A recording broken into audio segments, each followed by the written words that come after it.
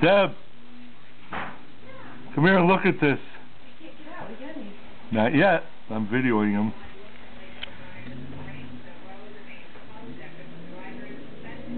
He's going to get stuck. Yep.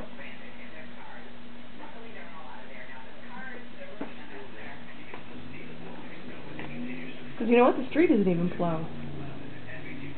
Get his attention, so...